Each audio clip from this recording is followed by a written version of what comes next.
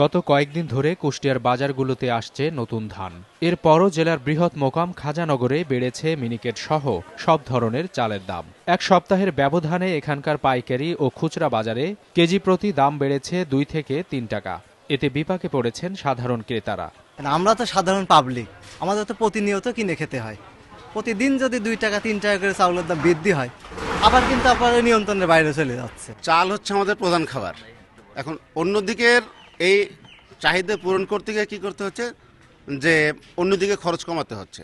মিলালারা বলছে ধানের দাম বেশি সেই হিসাবে চালের দাম বাড়ায় দিয়েছে। বিদেশ থেকে যে চাউল আমদানি করার মানে চলমান প্রক্রিয়া এই চলমান প্রক্রিয়াটাকে অব্যাহত রাখতে হবে। তাহলেই চালের বাজার স্থিতিশীল থাকবে। যদি এই চলমান প্রক্রিয়া অব্যাহত না থাকে তাহলে বাজারটা কিন্তু বৃদ্ধি হওয়ার সম্ভাবনা আছে।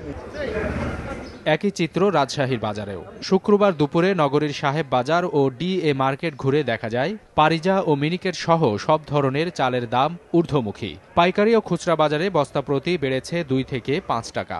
এতে সাধারণ মানুষ ক্ষুব্ধ হলেও ব্যবসায়ীরা দেখাচ্ছেন নানা অজুহাত। এলসি বন্ধ হয়ে গেছে বিদ্যুৎ দাম বেশি যার কারণে চালের পরে দামটি বাড়তি হয়েছে। কৃষকরা ধান কম দামে ছাড়ছে না। ওখান থেকে দামটা বেড়ে বাজারে আসছে। স্বাভাবিক আমরা বাজার বেশি বেচতে হবে। মনিটরিং করবে কি করে?